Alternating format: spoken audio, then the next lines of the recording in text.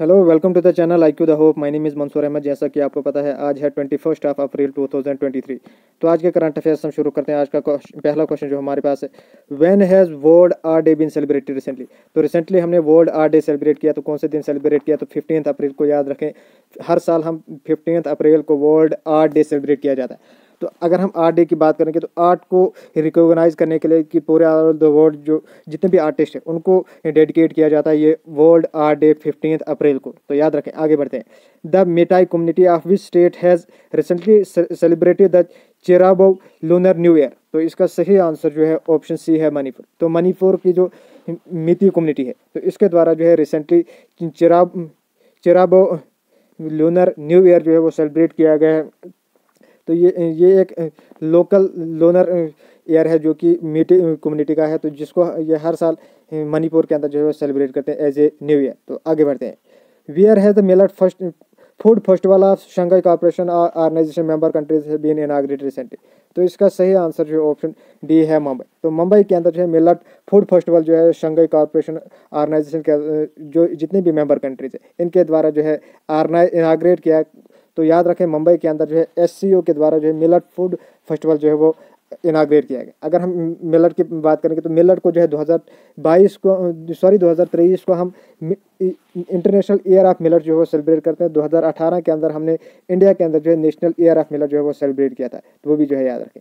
आगे बढ़ते हैं। Which bank has recently signed M with export import bank of Korea तो इसका सही आंसर जो है ऑप्शन ए एच बैंक तो याद रखें सी बैंक जो कि इंडिया का प्राइवेट बैंक है तो इसके द्वारा जो है export import bank of Korea के साथ जो एक मेमोरेंडम साइन किया है, जिसके द्वारा जो है ट्रांजैक्शन जितनी भी होगी, यहाँ मनी को ट्रांसफ़र किया जाता है एक कंट्री से दूसरी कंट्री या ट्रेड जो किया जाता है कंट्रीज़ के बीच में, वो सारा जो है वो इसके द्वारा जो है वो स्मूथली कंडक्ट किया जाएगा। तो आगे बढ़ते हैं।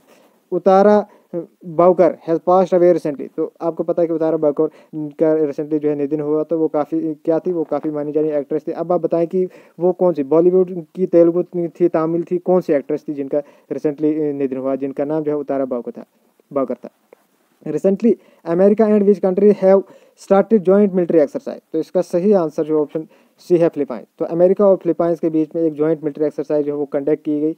अब आप बताएँ कि इस मिलिट्री एक्सरसाइज का नाम क्या है? क्योंकि मैंने ऑलरेडी जो है आपको जितनी भी इंटरनेशनल मिलिट्री एक्सरसाइज है, उसके ऊपर एक वीडियो बना के आपके साथ शेयर किया था। अगर आपने वो देखा होगा तो आप डेफिनेटली जो है इसका आंसर कर सकते हैं। अगर नहीं देखा तो उस वीडियो को भी जो है देखें एक बार और कमेंट सेक्शन के अंदर ज़रूर बताएँ कि अमेरिका और फिलिपाइंस के बीच में जो मिलिट्री एक्सरसाइज होती है, उस एक्सरसाइज का जो है वो नाम क्या है? तो आगे बढ़ते हैं।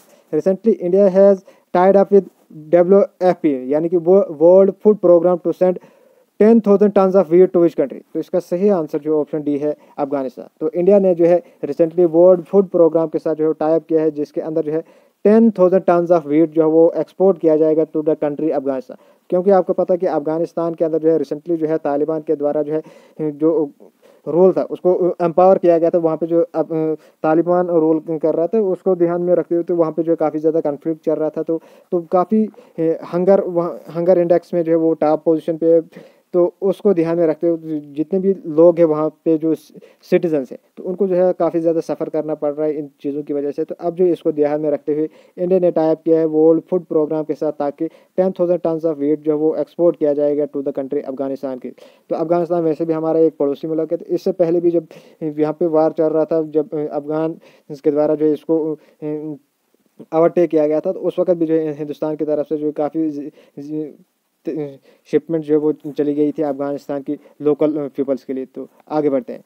हुए है where has the twelfth session of India Spain economic cooperation meeting held recently तो इसका सही आंसर जो ऑप्शन ए है न्यू दिल्ली तो न्यू दिल्ली के अंदर जो है ट्वेल्थ सेशन जो है इंडिया स्पेन इकोनॉमिक कॉपरेशन की जो मीटिंग है, इसका ट्वेल्थ सेशन जो है वो न्यू दिल्ली के अंदर जो है वो कंडक्ट किया गया था। तो तो ये एक अच्छी अचीवमेंट है कि इंडिया स्पेन के जो रिलेशन है इकोनॉमिक रिलेशन है, यहाँ इम्पोर्ट एक्सपोर्ट के जो रिलेशन है, उसको जो है और ज़्यादा बेहतर करने की कोशिश की जाती है।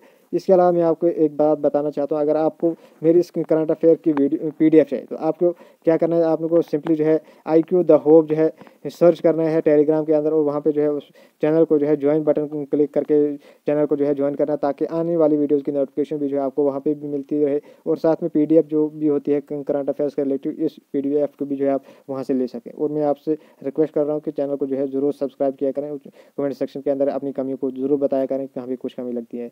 आगे बढ़ते हैं। Recently UAE has conferred financial assistance है one billion dollar to which country तो इसका सही आंसर जो ऑप्शन बी है पाकिस्तान। तो हमारा पड़ोसी मुल्क जो पाकिस्तान है तो उसको जो है recently U United Arab Emirates की तरफ़ से जो है फाइनेंशियल असिस्टेंस दिया जा रहा है। तो जो, जो कि वन बिलियन डॉलर है ये काफ़ी बिग अमाउंट है पाकिस्तान कंट्री के लिए पाकिस्तान जैसी कंट्रीज़ के लिए क्योंकि वहाँ पाकिस्तान के अंदर भी जो है काफ़ी ज़्यादा जो जितने भी पॉलिटिकल इशूज़ हैं उनकी वजह से जो है आम नागरिक जो होते हैं उनको जो है सफ़र करना पड़ता है। क्योंकि जो भी पॉलिटिशियन होते हैं या जो रूलिंग क्लासेस होती है तो उनको कोई प्रॉब्लम नहीं होती है। तो अगर हम अल्टीमेटली देखेंगे तो इनका सारा इफ़ेक्ट जो है वो कामल मासेस के ऊपर होता है। तो इसी चीज़ की वजह से जो है वहाँ पे जो है काफ़ी ज़्यादा महँगाई बढ़ रही है और इसके अलावा जो कामन पीपल्स है, उनका जीना जो है काफ़ी ज़्यादा मुश्किल हो रहा है। तो इसलिए जो है पाकिस्तान को जो है फाइनेंशियल असिस्टेंस जो है दिया जा रहा है। यूनाइटेड अरब अमीरेट्स की तरफ़ से वन बिलियन डॉलर का। तो ये एक अच्छा अचीवमेंट है। पाकिस्तान के लिए उम्मीद है कि अब पाकिस्तान को जो इन चीज़ों से जो है वो सामना ना करना पड़े। इसके अलावा अगर हम देखेंगे तो ग्रे लिस्ट जो थी, इससे भी जो है पाकिस्तान को जो है रिसेंटली हटाया गया था तो एफएटीएफ की ग्रे लिस्ट से भी जो है इसको हटाया गया था। तो आगे बढ़ते हैं। When has Himachal Pradesh Day been celebrated recently तो हिमाचल प्रदेश डे डे को भी हम हर साल फिफ्टीन अप्रैल को सेलिब्रेट करते हैं, जिसके, जिस दिन हम वर्ल्ड आर्ट डे सेलिब्रेट करते हैं। तो दोनों हिमाचल प्रदेश डे और World Art Day World Art Day जो है, हम हर साल फिफ्टीन अप्रैल को सेलिब्रेट करते हैं। तो आगे बढ़ते हैं। Which space agency has recently released the picture of Crab Nebula. तो इसका सही आंसर जो है ऑप्शन डी है नासा। तो नासा जो कि एक space agency American space agency है। इसके द्वारा जो एक क्रैब नेबुला की पिक्चर को जो है रिलीज़ किया गया था। अगर हम क्रैब नेबुला की बात करेंगे तो ये जो एक बड़ा स्टार जब डिसमेंटल हो जाता है, वो फट जाता है, उससे जो भी डेबरीज निकलती है तो उसको जो है क्रैब नेबुला कहा जाता है। तो वो जो है इसको रिसेंटली नासा के द्वारा जो इसकी पिक्चर्स ली गई हैं। तो आगे बढ़ते हैं। Where will the meeting of G twenty agriculture chief scientist be held recently तो अगर हम जी ट्वेंटी के एग्रीकल्चर चीफ साइंटिस्ट की बात करेंगे, इस, इनकी जो मीटिंग हो रही जा रही है, वो वाराणसी के अंदर हो रही है तो आपको पता है कि जी ट्वेंटी मीटिंग जो वो इंडिया जी ट्वेंटी समिट जो वो इंडिया होस्ट कर रहा है तो इसकी डिफरेंट डिफरेंट सिटीज़ के अंदर इसकी डिफरेंट मीटिंग्स होनी हो रही हैं तो वो सारी मैंने तकरीबन आपके साथ डिस्कस कर ली है अभी तक तो इसकी जो एग्रीकल्चर चीफ साइंटिस्ट की मीटिंग है, वो वाराणसी के अंदर हो रही है तो आगे बढ़ते हैं। Recently in which country has foreign ministry S Jaishankar inaugurated the Bhoji bridge तो भोजी ब्रिज की अगर हम बात करेंगे तो मोजम्बिक के अंदर जो है हमारे फॉरेन मिनिस्टर एस जयशंकर के द्वारा जो है इनाग्रेट किया गया। तो आगे बढ़ते हैं। Recently the prime minister Narendra Modi started methanol plant along with new railway project where तो इसका सही आंसर जो ऑप्शन सी है आसाम तो आसाम के अंदर जो है रिसेंटली हमारे प्राइम मिनिस्टर नरेंद्र मोदी के द्वारा जो है एक मेथनॉल प्लांट जो है वो इनाग्रेट किया along with new railway project के साथ। तो इसके अलावा हमने देखा कि आसाम के अंदर जो है दो दिन पहले जो एक फेस्टिवल सेलिब्रेट किया। तो वो आप बताएँ कि कौन सा फेस्टिवल जो है आसाम के अंदर जो वो सेलिब्रेट किया है आसाम यूज़ के द्वारा। तो वो आप बताएँ। आ, आज का आखिरी क्वेश्चन जो है हमारे पास। Who has recently launched the animal epidemic preparedness initiative तो इसका सही आंसर जो पुरुषोत्तम रूपाला। तो पुरुषोत्तम रूपाला के द्वारा जो है एनिमल एपिडेमिक प्रिपेयरनेस इनिशिएटिव जो वो लॉन्च किया गया था। इसी के साथ आज के करंट अफेयर जो है खत्म होते हैं। उम्मीद है कि आपको वीडियोस पसंद आए। वीडियोस पसंद आते हैं वीडियोस को लाइक किया करें। कमेंट सेक्शन के अंदर जो है ज़रूर बताया करें कि ऐसी वीडियोज़ लगती हैं। कहीं भी कुछ हमें लगती है चैनल को जो है सब्सक्राइब ज़रूर करके रखें ताकि आने वाली वीडियोज़ की नोटिफिकेशन आपको सबसे पहले मिलती रहे। Thanks for watching our videos and God bless you all